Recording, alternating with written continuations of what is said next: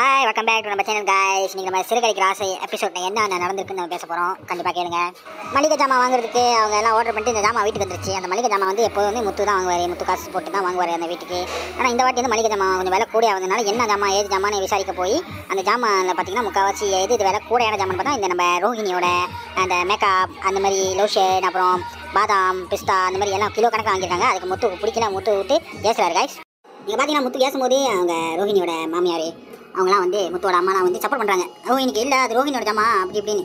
ஆனால் முத்து கேட்குற கேள்வி நீங்கள் பார்த்தீங்க வச்சுங்களேன் சும்மா அர்த்தமாக கேட்குறாரு காய்ஸ் அவங்களோட ஜாமா அவங்க புருஷன். அவர் தான் வாங்கி கொடுக்கணும் அவர் வாங்கி கொடுக்காம நான் அதுக்கு வாங்கி கொடுக்கணும்னு சொல்லி நல்லா சொல்கிறாரு அதை கேட்டுட்டு நம்ம ரோஹினிக்கு ரோஷம் வந்து நேராக போயிட்டு அவங்க வாலெட்லேருந்து காசுலாம் எடுத்துட்டு இந்தாங்க இது என் காசு என்னோட ஜாமாக்கான காசுன்னு சொல்லி கொடுக்குறாங்க. டக்குன்னு அவங்க முத்தோட அம்மா சொல்கிறாங்க இல்லை இல்லை அவங்க கொடுத்தா அதெல்லாம் வாங்கிக்க மாட்டானே அப்புறம் முத்து யார் சொன்னா? அப்படின்னு நான் வாங்கிக்கோன்னு சொல்லிட்டு வாங்கிக்கிறாரு அந்த காசை. அப்புறம் ரோஹிணி என்ன பண்ணுறாங்க ரோஹிணி கரெக்டாக சொல்கிறாங்க அடுத்த மாதத்துலேருந்து இந்த மளிகை ஜாமான் நாங்கள் வாங்கி போடுறோம் அப்படின்னு சொல்லி முத்துல சொல்கிறாங்க அதை கேட்டுட்டு முத்து சொல்கிறாரு எங்க உங்கள் புருஷனை சொல்ல சொல்கிறாங்க அந்த மாதிரி நீ ரோஹிணிட்ட அப்புறம் அவர் பார்த்தா அவர் அப்படியே மனுப்புறாரு. ஏன் அப்படி இப்படின்னு மனுப்பிட்டு இருக்காரு. முத்து சொல்றாரு பாருங்க நீங்க தான் சொல்றீங்க. அதுக்கப்புறம் வாய் தந்து பேசலாம் பார்த்தீங்கன்னு கேட்கறாரு அதுக்கப்புறம் முத்து கேட்டுட்டு சரி ம- சாப்பிட கூட்டிட்டு போறேன்னு சொல்லிட்டு வெளியே கூட்டு போறாரு. இவங்க நம்ம ரோஹினியும் உள்ளுக்கு போறாங்க ரூமுக்கு போறாங்க. ரூமுக்கு போறாங்க. அதுக்கு பின்னாடியே வந்துட்டு இல்லை அவன் பேச எதுவும் கேட்காது அப்படின்னு சொல்றாரு.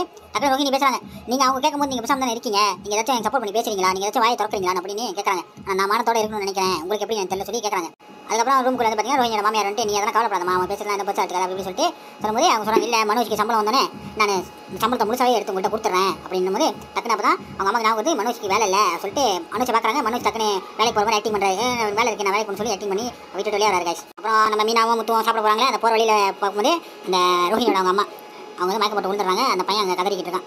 அப்போ இவங்க தான் போய் கூட்டிட்டு ஹாஸ்பிட்டல் வரைக்கும் கூட்டிட்டு போகிறாங்க ஹாஸ்பிட்டல் அட்மிட் பண்ணிட்டு டாக்டர் சொல்லிட்டாரு. ஹாஸ்பிட்டலில் அவங்க தங்கணும். இதாக இருந்தாலும் அவங்க கான்சியஸ் வந்து பாருங்க நாங்கள் சொல்ல முடியும்னு சொல்லிட்டாங்க. அதோட ட்ராமா முடியுது. அதுக்கப்புறம் வந்து பார்த்தீங்கன்னா நாளைக்கு வர எபிசோடில் என்ன வரும் பார்த்தீங்கன்னா முத்து வந்து அந்த கிரிஷ் அதாவது ரோஹினி பையனை வந்து தூக்கிட்டு வராரு கிரிஷை தூக்கிட்டு அவர் வீட்டுக்கு வராரு. அப்போ அவங்க அம்மா கேட்குறாங்க நீ என்ன ரோட்டில் போகிறதெல்லாம் கூட்டிகிட்டு வர வீட்டுக்கு அதை வந்து நம்ம ரோஹினி கேட்டுறாங்க. ரோஹினி கேட்டு அவங்க மனசு ரொம்ப கஷ்டமாயி அவங்க மனசு ரோஹி மனசு கஷ்டமாயி அவங்களுக்கு கண்ணில் தண்ணி வந்துருச்சு காய்ஸ் கண்ணீர் வந்துருச்சு. ஸோ கண்டிப்பாக நம்ம ரோஹினி இப்போ வந்து அவங்க மாமியாரோட குணத்தை புரிஞ்சுக்குவாங்க. என்ன இப்படி பேசுகிறாங்க இப்படி நடந்துக்கிறாங்கன்னு. ஏன்னா அவங்க நினச்சிட்டு இருக்காங்க எப்படியாச்சும் சொல்லி கிரிஷை வந்து அவங்க வீட்டுக்கு கூட்டி வந்துடலாம் ஆனால் அவங்க மாமியார் இந்த மாதிரி பேசும்போது அவங்க எப்படி அதை எடுத்துக்குவாங்கன்னு தெரியல.